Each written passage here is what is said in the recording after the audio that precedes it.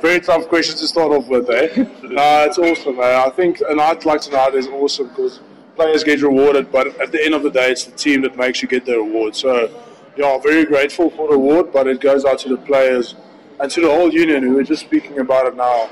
What's nice about the Lions is it's a whole family, and I think that makes all the players play so much better because of the family environment.